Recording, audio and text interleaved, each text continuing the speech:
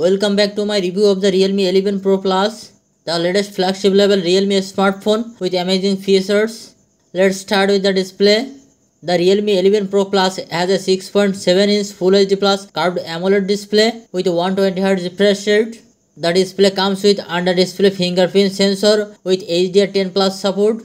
Performance the Realme 11 Pro Plus is powered by MediaTek Dimensity 7050 processor with 12GB of RAM and 1TB of storage. Camera The Realme 11 Pro Plus has a triple camera setup on the back with a 200 megapixel main voice camera, an 8 megapixel ultra wide camera and a 2 megapixel macro camera.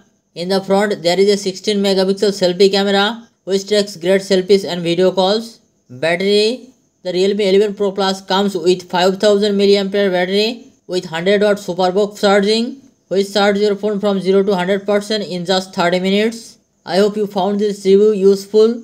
If you think this video is useful then please subscribe our Tech Garden channel and hit the like button. Thank you so much. See you in the next video.